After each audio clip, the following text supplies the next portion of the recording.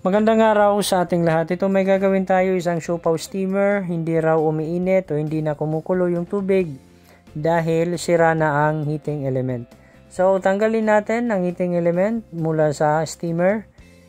Pakita ko sa inyo ang pagtesting ng heating element. Gamit tayo ng digital multimeter, iset natin sa resistance dapat ang okay na heating element, yan po ay meron tayong masukat na resistance. Dito, nung sukatin natin, OL po yung ating nakita, open line, open loop. Ibig sabihin, sira na ang heating element na ito. Ngayon, alam natin na sira na yung heating element. Dito, ipaliwanag ko sa inyo kung ano kaya yung naging dahilan kung bakit nasira yung heating element. Malamang itong temperature sensor ay hindi ito gumana.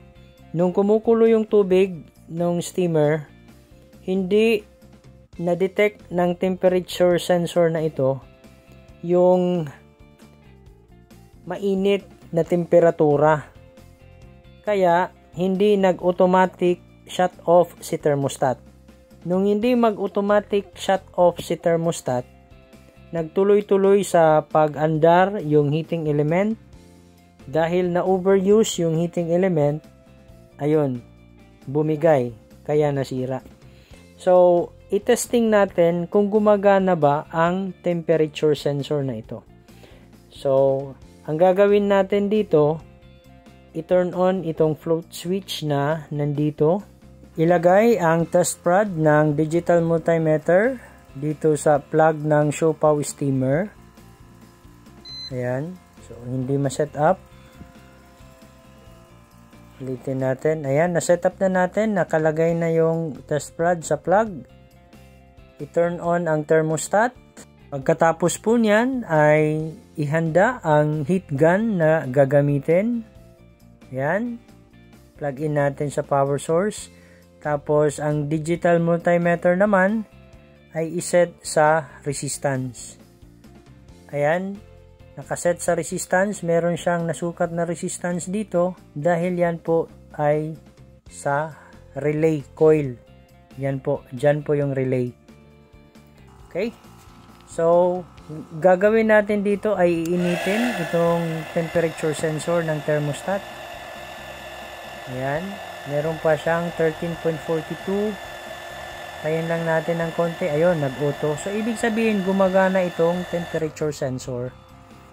So, ibig sabihin, heating element lang talaga ang papalitan natin. So, bumili ako ng electric kettle, tapos yung heating element ng electric kettle, yung po ang gagamitin natin o ikakabit natin dyan sa siopaw steamer. So, tatanggalin lang natin yung mga screw na yan.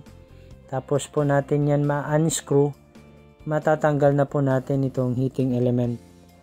Yan po yung ikakabit natin dito sa steamer. Ayan, natanggal na natin yung heating element mula sa electric kettle. Ngayon, nililipat natin ito dito sa steamer. Ayan, nalagay natin dyan. Bale, ito po yung magiging setup ng pagkabit ng heating element. Yung medyo malapat na parte, yan po ay nasa ilalim. Pagkatapos itong temperature sensor naman, yan po ay itinutok na natin dyan sa may steamer para kung kukulo na yung tubig, automatic madidetect ng sensor at automatic magsha-shut off si thermostat. So, at least makakapahinga yung heating element. Dito ay isinet up na natin. I-actual testing ito sa Siopaw steamer. Ayan po. Na-turn on na po natin yung Siopaw steamer titingnan natin, ayan po ay umiinit na yung tubig, nagkaroon na siya ng steam. Yan po yung kanyang resulta. Ayan. So, dito naka-turn off yung steamer. Yan, nag-turn on siya ulit. Tapos po niyan, nag-automatic turn off na. So, ibig sabihin, okay na ito.